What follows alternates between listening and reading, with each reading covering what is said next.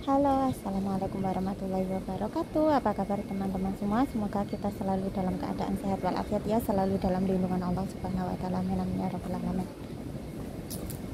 Nah hari ini tuh hari minggu dan di sini tuh ada e, masyarakat sini yang melakukan upacara persembahan kayak sembayangan kayak gitu ya.